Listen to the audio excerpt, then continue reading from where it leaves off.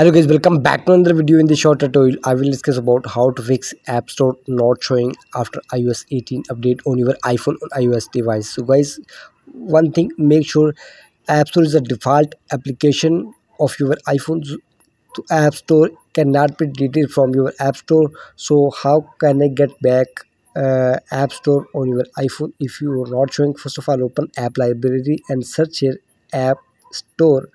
So if is available. So you can see in my case not available in app store on my app library. So guys now keep watching this video until the end. And now guys find out setting application. Here is tap on it. And now scroll down and find out screen time. Here is tap on it. And now scroll down and tap on content and restrictions and now guys tap on itunes and app store purchases. And guys installing app top right corner tap on it and simply allow app from here. Now go back from here.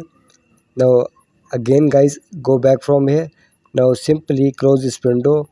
And uh, now you can see app store is get back on your iphone home screen. You can uh, find out app library again. So here is go app library and you can find out app store. Here you can see app store is on the first page. You can see appears on screen. How you can get back your app store by this method guys please like my video subscribe to my channel